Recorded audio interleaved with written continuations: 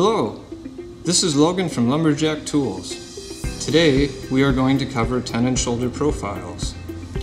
Before you choose a tenon cutter, you need to determine which shoulder profile you prefer. We offer two different shoulder profiles, the radius shoulder and tapered shoulder. There is no strength advantage between the two profiles. It really comes down to personal preference. The radius shoulder profile has a distinct curved shape. This shape creates a clean low profile look when assembled.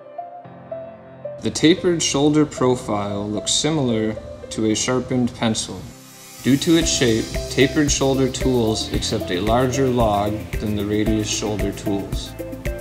This look has a more visible shoulder and is common in traditional rustic log furniture. We also offer a countersink bit for the tapered shoulder.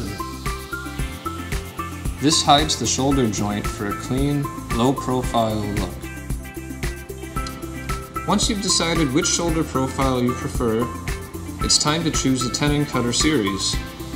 Click on the links below for more information.